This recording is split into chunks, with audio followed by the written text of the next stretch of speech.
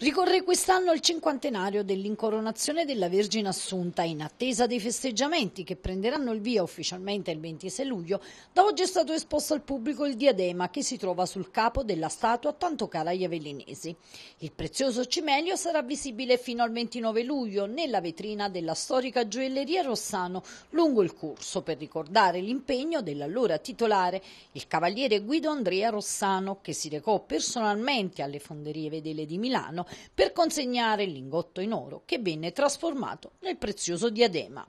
Mm, siamo orgogliosi e siamo stati molto contenti di poter eh, diciamo, accogliere la proposta che ci è stata fatta di, eh, diciamo, di, esporre la corona che mio nonno 50 anni fa ha, diciamo, ha contribuito affinché fosse realizzata, infatti ci ha spiegata la storia in maniera abbastanza dettagliata.